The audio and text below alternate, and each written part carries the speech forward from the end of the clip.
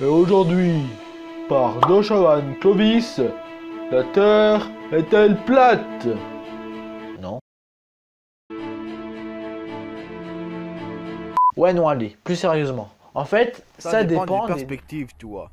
Là, par exemple, il y a des cailloux. Là, c'est c'est tout rugueux, tu vois. C'est pas plat, ça pique. C'est là, la terre, elle n'est pas plate.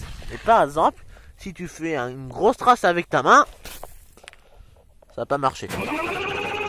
Ah là, par exemple, tu vois, la terre, elle est plate, elle est douce. Là, là, oui. Là, la terre, elle est plate. Et voilà. Ah. Attends, mais euh, on n'est pas censé être confiné? Oh,